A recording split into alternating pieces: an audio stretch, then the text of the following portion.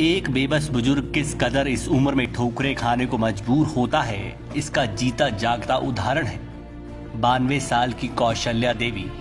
कांगड़ा के शाहपुर में कौशल्या देवी के साथ बैंक ने जो किया, उसका हर जाना वो पिछले सात सालों से भुगत रही। बताया जा रहा है कि इस बेबस माँ ने अपने बेटे की दुकान खोलने के लिए बैंक से पाँच लाख रुपए का लोन लिया था। दुकान चल रही थी और लगातार बैंक की किस्त भी जा रही थी। लेकिन जब किसी कारण से दुकान खाली करनी पड़ गई, उसके तुरंत बाद इस परिवार पर दुखों का पहाड़ टूट पड़ा।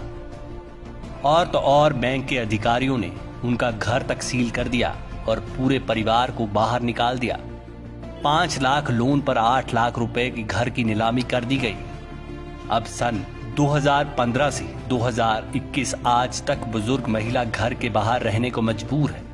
लेकिन समाज सेवी संगठन अब इनकी मदद के लिए ज़रूर आगे आया है। यहाँ तक कि इस बुज़ुर्ग महिला के लिए भीख मांग कर मदद करने की कोशिश कर रहा है। कुछ वर्ष पहले जो है, परिवार ने, बड़े बेटे ने जो है लोन लिया था बैंक से, कांगड़ा कोऑपरेटिव बैंक से, लेकिन पाँच लाख का लोन लिया था, लेकिन वो किसी कारण बस जो है, व्यापार में घाटा हुआ और वो लोन को नहीं भर पाए। लेकिन मत जो उसका टाइम था टाइम के अकॉर्डिंग समय समय पर उसे देते भी रहे हैं। लेकिन कुछ हालात इतने खराब हो गए बद से बदतर हो गए कि वो लोन नहीं भर पाए।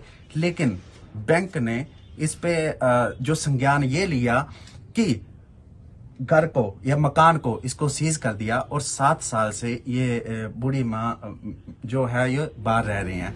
खास बात यह है कि यहाँ से मात्र एक किलोमीटर की दूरी पर मंत्री साहिबा सरवीर चौधरी का घर भी है, लेकिन उनको भी इस बेबस माँ का दर्द नहीं दिखता।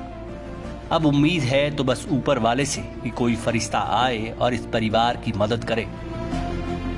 मृत्युंजय पुरी, समाचार फ़र्स्ट।